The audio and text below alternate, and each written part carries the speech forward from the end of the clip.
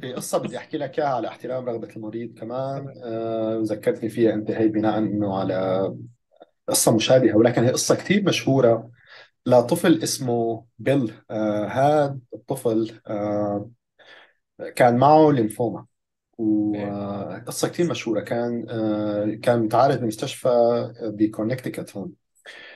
فأخذ آه تقريبا كان هو لازم ياخذ 12 cycle آه 12 دورة من العلاج الكيماوي. أخذ 8 وبعدين قال أنا بدي أوقف. كان عمره 14 سنة. قال أنا بدي أوقف. قال أنا ما عاد أحسن هالأعراض اللي عم تجيني نتيجة العلاج الكيماوي. بس هو عمره 14 يعني هو نعم. بعده معنا بالسن القانوني بيقدر ياخذ القرار. تمام. نعم. ما ن- ولكن قال قال أنا ما عاد فيني وأنا في عندي عمي توفت من وراء ال- هذا السم اللي عم تعطوه إياه الأدوية هو لو كان بالغ بتسمع له كلامه تماما بس هذا طفل. طبعا. ورغم كل هالشيء أنا مشان هيك عم أقول لك هاي قصة جدا مشهورة. إنه هو قال أنا عمري إنه أنا ما عاد بدي اخذه وصراحه المستشفى وقتها راح آه، عملوا اتصلوا مع هيئة العناية هيئة ال- الطفل إنه لازم نحن نجبره ياخذ هذا الشيء. قام الولد شال حاله وهرب على تكساس. بعت رسالة لأهله إنه أنا بحبكم ومدري وكل شيء بس أنا ما عاد أحسن آه، آخذ هذا العلاج وشال حاله وهرب على تكساس. وبلش ياخذ أعشاب لحاله. يعني شو ياخذ أعشاب ومدري شو وطاب. والولد طاب وعين الله عليه. هالحكى الله شفاه وصارت قصة كبيرة وطلعت بالإعلام وصاروا يقولوا الناس إنه معناته أنتم ما كنتوا عم تعالجوا صح مع كذا. وزيطة وزنبليطة. ووقتها المحكمة قالت إنه خلص إنه هو هي رغبته رغم إنه 14 سنة. مو لأنه من شيء ولكن لأنه ما فيك تجيب واحد. يعني هلأ في عندك أنت جانب عملي من الأمور.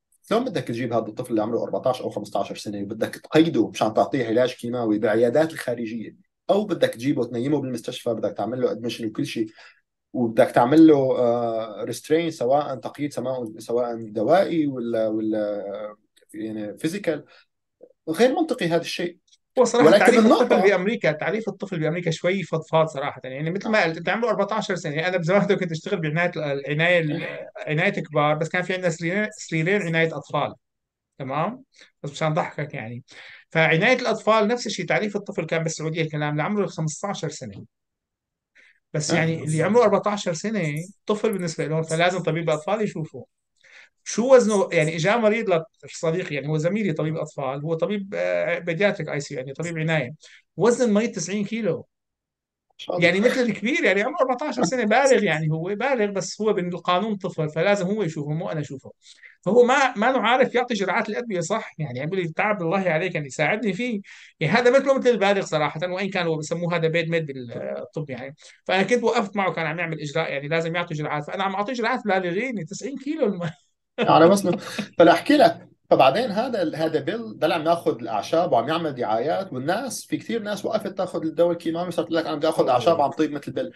بعد تقريبا شي سبع أو ثمان سنين ضلوا يستمروا الناس يعني الدكاترة بالأبحاث. فاكتشفوا إنه كان جرعة 8 cycles كانت كافية للعلاج. ماي فاللي فعلا أخذ العلاج. فهو أخذ العلاج واكتفى وكانت هل بين 8 ل 12 هي كانت زائده ولكن كانوا عم يعطوها بناء على أبحاث قديمة ولما جدت الأبحاث اكتشفوا إنه كافية. وعود بقى اقنعه واقنعوا جماهيره إنه يا أخي الأعشاب مو هي اللي شفنا